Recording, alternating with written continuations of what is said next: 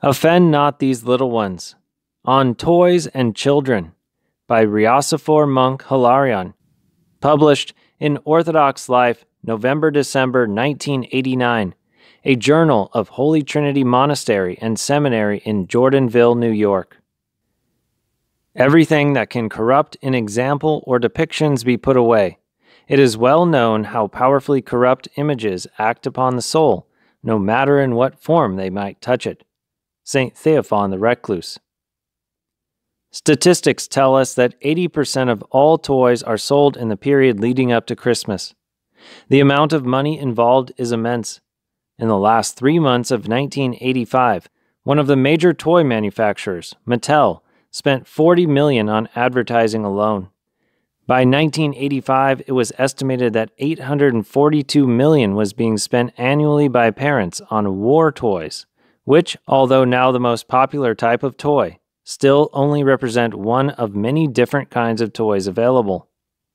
Needless to say, profits too are enormous, and where there is a potential for high profits, there one will find the most sophisticated methods of marketing and advertising employed. And who are the targets of this marketing and advertising? Certainly not parents. At this very moment, advertising campaigns are underway to make profits from the sale of toys during the Christmas season of 1989, the largest ever. Every parent will, to a greater or lesser degree, be affected by these campaigns. What should our response be? As Orthodox Christians, how should we view the question of toys in general?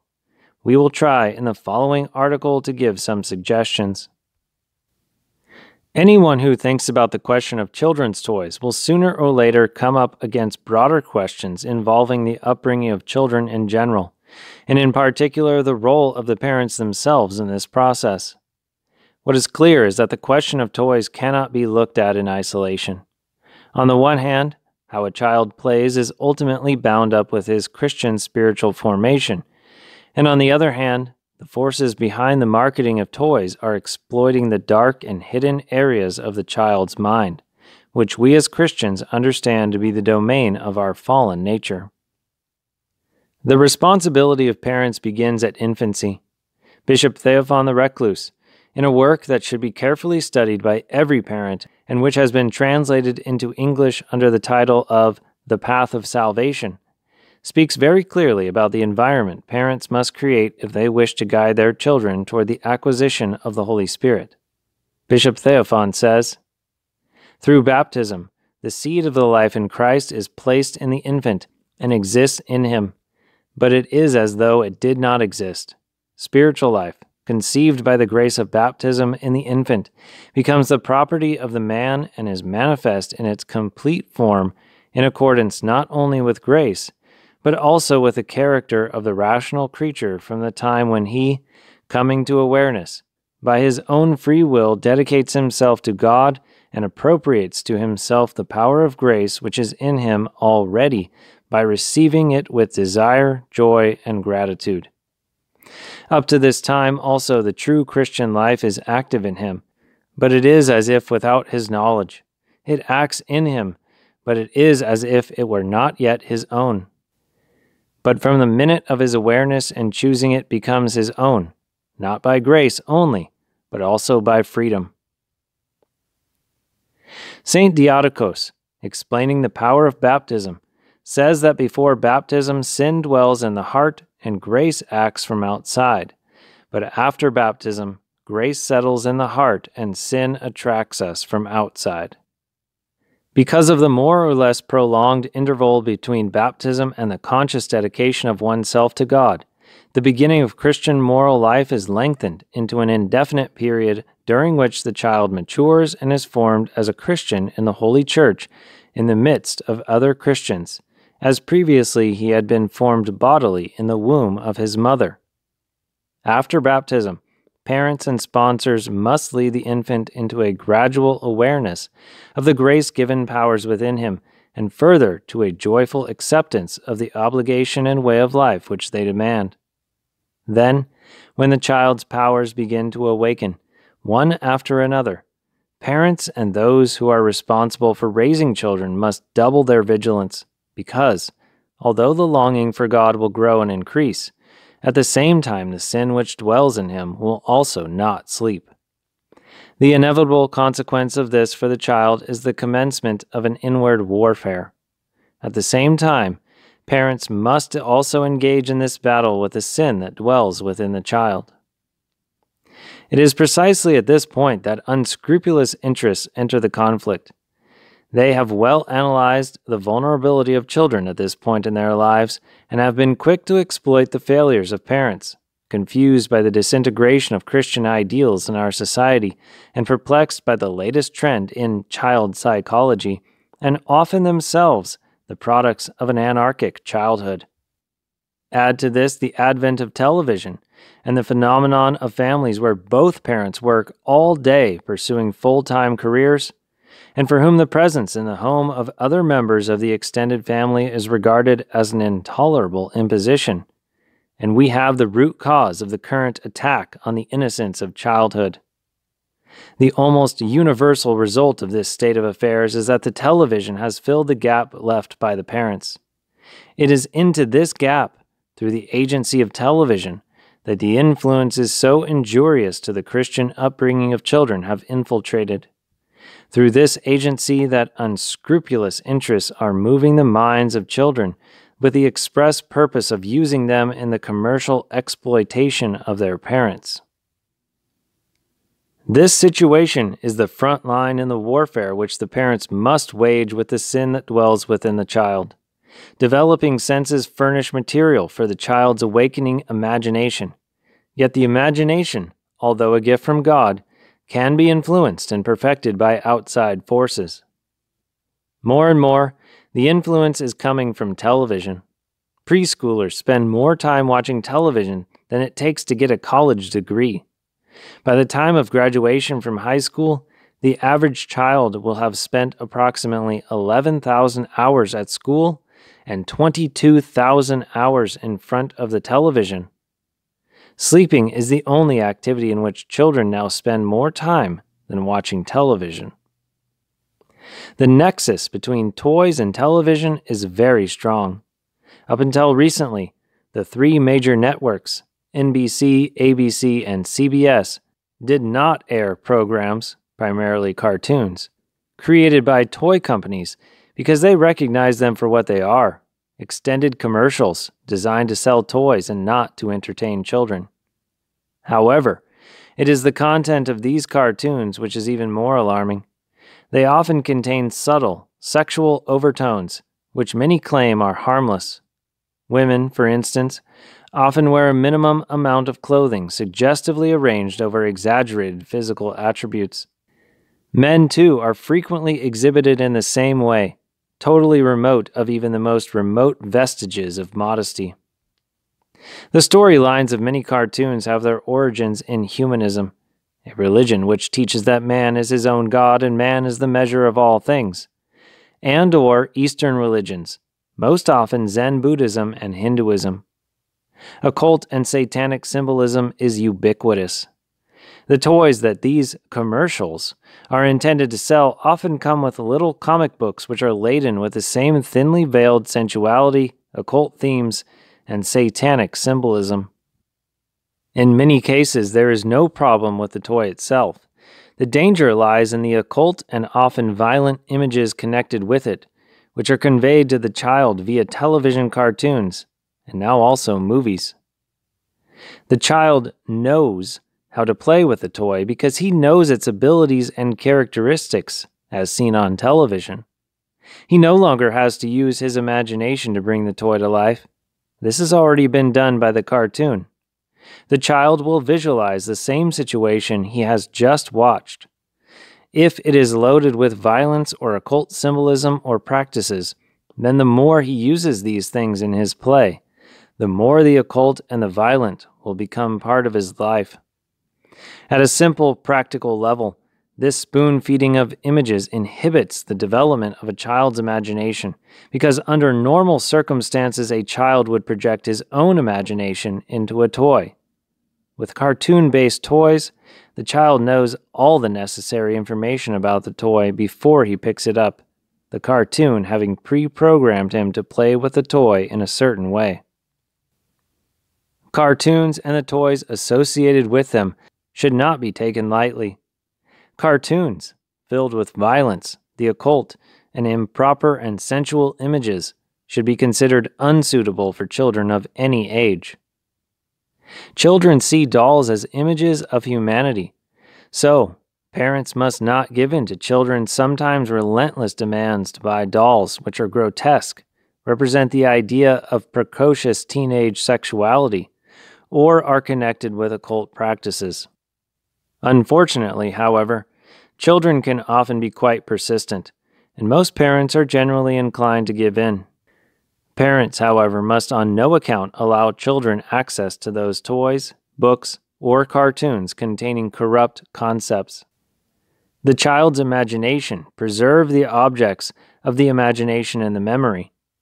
How unfortunate is the child who, closing his eyes, or being left alone, or going within himself, is stifled and haunted by a multitude of improper images. Why, we may ask, are so many toys and cartoons based on occult symbolism? To answer this question, we must consider the people who are creating them today. They are a far different breed from the makers of the past. Many of the creators of toys and script writers of the cartoons which accompany them have come out of the 1960s generation, during which time many were involved in the drug culture and Eastern religions. Some indeed still are. Few are practicing Christians, and many were themselves raised by television. Therefore, since the ideas for toys come from man's imagination, then, if their thoughts have been corrupted by hedonistic and humanistic values, so the toys they design will bear these influences. A word needs to be said about films, which also compose the atmosphere surrounding children's play. The top money making films today focus on the preternatural manifestations of the kingdom of darkness. Designed for adults were such films as Rosemary's Baby, The Exorcist, Omen, and Poltergeist. For children, the Star Wars trilogy, E.T., Ghostbusters, and Gremlins. The Star Wars trilogy, since it first appeared in 1977, has generated sales from Star Wars licensed products i.e., primarily toys, of 3 billion. George Lucas, the producer of Star Wars, admits being strongly influenced by Carlos Castaneda's Tales of Power, a cult book of the 1960s and 70s which chronicles what many thought to be true the story of Don Juan, a Mexican Indian sorcerer. Furthermore, Star Wars introduced many viewers to Zen Buddhism through the characters of Yoda, known as Zen Master. Yoda taught Luke Skywalker, a type of Buddhist monk, about the ever present force, a term used in witchcraft down through the ages to describe the power witches receive from Satan. Lucas himself has said, People in the film industry don't want to accept their responsibility that they had a hand in the way the world is loused up. But for better or worse, the influence of the church, which used to be all powerful, has been usurped by film. Films and TV tell us the way we conduct our lives, what is right and wrong. One might be inclined to say that even Snow White and The Wizard of Oz have some frightening elements. But the difference between these and more recent films does not necessarily lie in the content, but rather in the way the story is told. Disney films presented a world in which there was a moral order. There was a sweetness in the way the stories were told several levels removed from the vivid realism of Indiana Jones, for instance. In pursuit of ever larger audiences, filmmakers have escalated the amount of violence, brutality, and sensuality and aimed it at ever younger and younger audiences. Disregarding the often anti Christian content of these films, it remains that through them children are being taught that the demons they regularly depict are real, and not only real, but often friendly and helpful if approached in the right way. And this idea is being reinforced by the toys which are based on the films. In The Path of Salvation, Theophan the Recluse says The whole attention of those who have responsibility for the Christian child should be directed to not allowing sin in any way to take possession of him again, i.e., after baptism, to crushing sin and making it powerless by every means by arousing and strengthening the child's orientation toward God. How is this to be done? It is something that must be pursued from the very moment the child's awakening powers begin to focus, and according to all indications, this is very early. It is also evident that a great influence for good is exercised on children by frequently taking them, from the earliest age, to church by having them kiss the Holy Cross, the Gospel, the icons, and by covering them with veils. Likewise, at home, frequently placing the child under the icons, frequently signing him with the sign of the cross, sprinkling him with holy water, burning incense, making the sign of the cross over his food, his cradle, and everything connected with him. The blessing of the priest, the bringing into the house of icons from the church, the service of Molebens, and in general everything from the church, in a wondrous way warms and nourishes the life of grace in the child, and protects him from attacks by invisible, dark powers, ever ready to infect the developing soul. Likewise, the spirit of faith and piety in the parent should be regarded as the most powerful means for the preservation, upbringing, and strengthening of the life of grace in children. But every effort will come to nothing and be made fruitless by unbelief, carelessness, and impiety on the part of the parents. The inward influence of the parents on the child is especially important. Where parents are too busy to spend time with their children, the children will learn through other sources. If parents cannot strictly control their children's viewing of the television, let it be banished from every Christian household let no book or magazine depicting improper or violent scenes be permitted to cross the threshold. Let the child be surrounded by sacred forms and objects of all kinds. Let his first memories be of the soft light illuminating the icons in his room, the smell of incense, and the sound of sacred music. Let everything that can corrupt in example and depictions be put away. And so let the child grow in an atmosphere sanctified by piety. However, training in piety, though foremost in child development, alone is not sufficient to help children battle the onslaught of the world.